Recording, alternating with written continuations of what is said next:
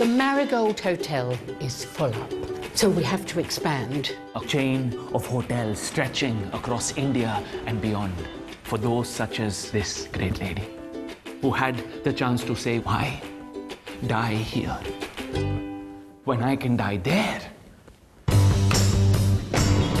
She must be the reason why things are going so smoothly. It takes teamwork to make a dream work, Mami ji.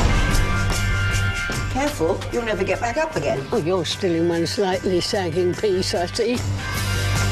How long have you guys been together? We're not together. Good night. Why not?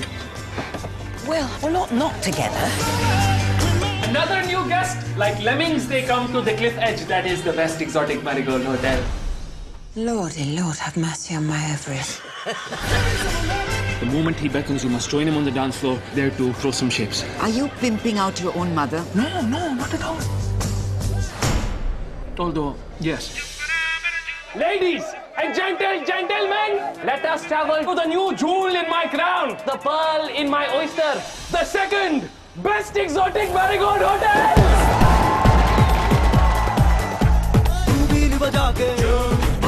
Go and knock 'em dead.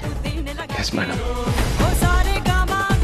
How many new lives can we have?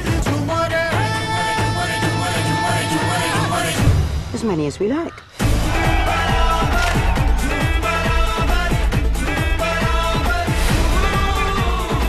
Hello, Douglas. Hello, Evelyn. I couldn't resist the chance to come out and visit the old crumbling ruins and see how the hotel was doing as well.